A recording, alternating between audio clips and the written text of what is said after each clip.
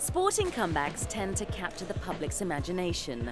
So, for that reason, we shouldn't be surprised to see badminton's very own comeback kid Ajay Jayaram grabbing the headlines after his second coming in 2015. The Indian star's rise from 65 to 23 in the world rankings is certainly significant. Jayaram had been beset by injuries since narrowly missing out on qualification for the London Olympics. But 2015 was the year when he finally regained momentum. His resurgence culminated in a first ever World Super Series final at the Victor Korea Open in September, his finest career achievement to date. I think I really pumped myself up uh, before the match and um, won that match quite convincingly. So that was a very good boost for me and I think uh, things just kept getting better from there and uh, managed to uh, reach the finals there. Uh, so definitely that result for me was uh, a huge boost and I think I did, you know, I took that confidence in, into the next tournament as well where I won the Dutch Open.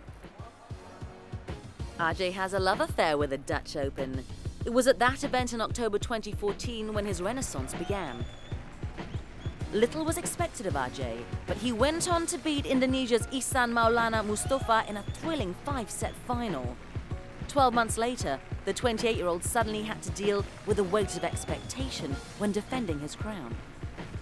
Uh, I'd gone into it against the backdrop of the Korean Open result and um, I was the highest ranked uh, player in the tournament and I'd won the title the previous year so definitely I was expected to do well again. So that certainly comes with a, you know, a certain amount of pressure. And I think I handled it uh, pretty well. Ajay's positive mindset is undoubtedly a great attribute.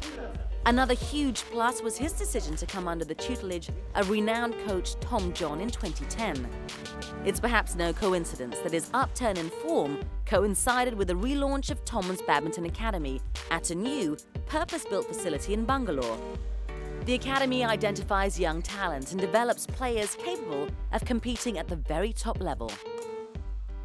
It has definitely helped me because uh, now you have literally everything right in here and it's kind of isolated from the city which has its positives because you're kind of in a you know a badminton zone throughout the day which is definitely beneficial for an athlete.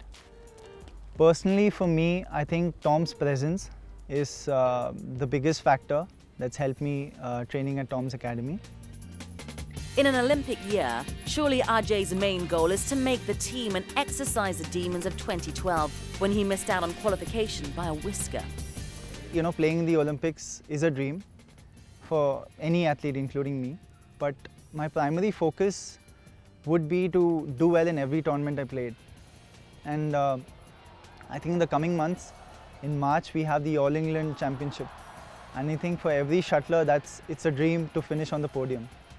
So, and I think I've done, um, you know, the, especially the Korea Open result has really motivated me that, and, you know, instilled that belief in me that I could actually get there. When you consider what he's been through to get back to this level, who would bet against him achieving his dreams?